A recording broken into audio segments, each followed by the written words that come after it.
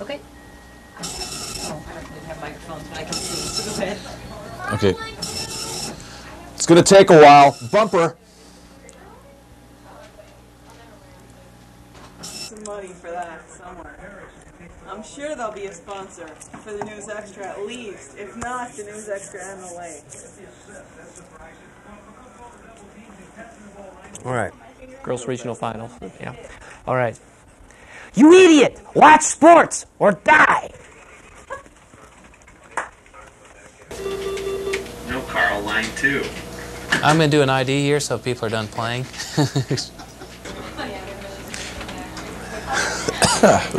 hmm. That'll look in the blooper tape.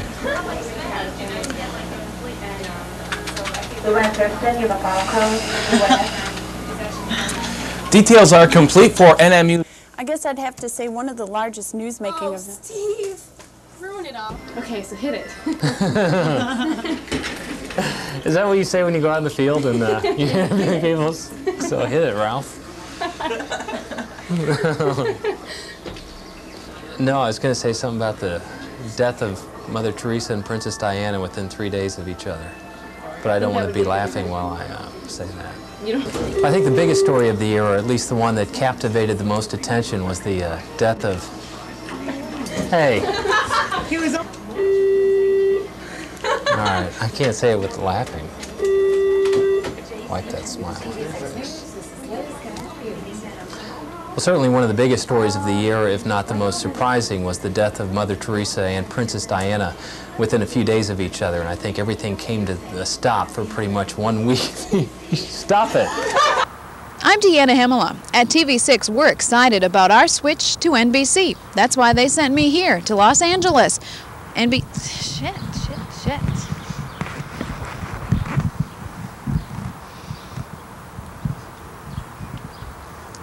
I'm Deanna Hemela. At NBC, we're excited about our switch to TV6. I'm sure they could care less. Well, some of the snowmobile trails out there are getting a light dusting of snow tonight.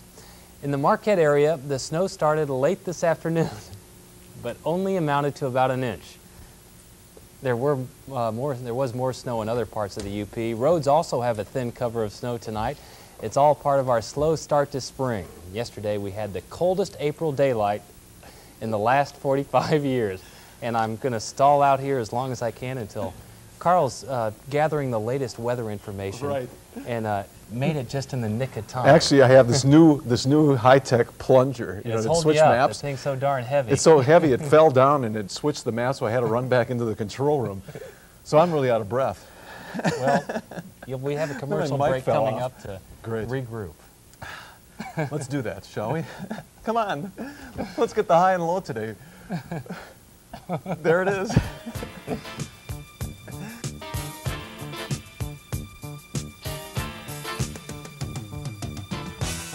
Two, one.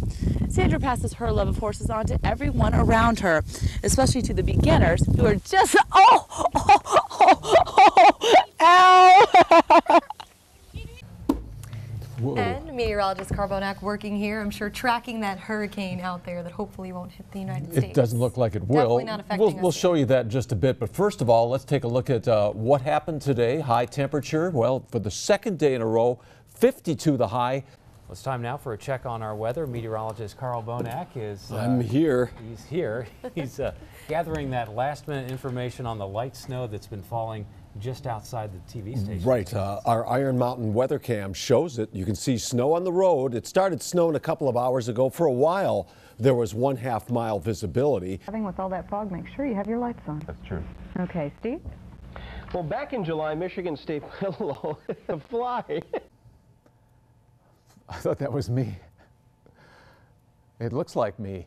And we've got that westerly wind expected for Labor Day after the front comes through. And tonight, what we're expecting are lows from around 60 through the 60s, very light winds. And again, there's the danger that some low clouds will form along with some fog. And take to safeguard yourself this winter from nature's worst. Karen Van Elsen, TV6 News, Marquette. And Karl Bohnak joins us, and what more can we say about the weather? I don't know. Like spring out there. Looks like Karen was having a tough time. though. It was. it, it looks like we're going to have mild weather into the weekend, but there is a system coming in out of the west that could cause some, some snow.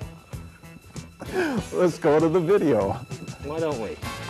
In fact, the ice is getting a little bit thin in some spots because of all the mild weather. Here's a scene from the copper country. The forecast next. One of the highlights. I do have intense gas developing, so I would suggest that you hurry up with this.